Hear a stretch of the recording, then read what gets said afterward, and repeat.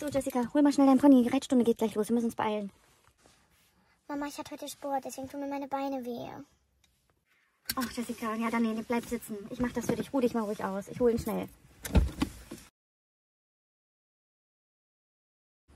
Jessica, beeil dich jetzt mal und hol deine Sachen schnell. Komm. Oh, Mama, irgendwie habe ich gerade Kopfschmerzen bekommen. Ach, Schatz, nee, wenn du Kopfschmerzen hast, dann, dann setzt du dich ein bisschen hin und ruh dich aus. Ja, ich mach das schon für dich. Endlich meine Ruhe.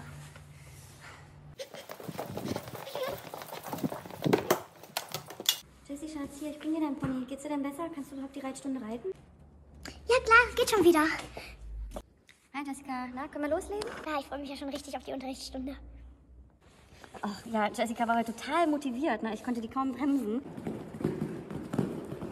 Hier, Jessica, wasch mal schnell die Trense aus und putz die mal bitte noch richtig eben.